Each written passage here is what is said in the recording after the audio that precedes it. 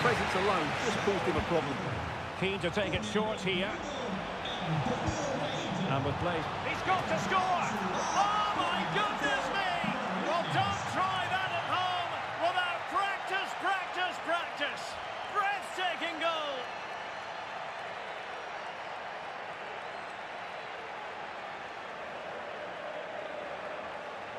Well, just look at this piece of skill. He times this absolutely perfectly. Great connection as well. We'll see this for years to come. Fantastic goal.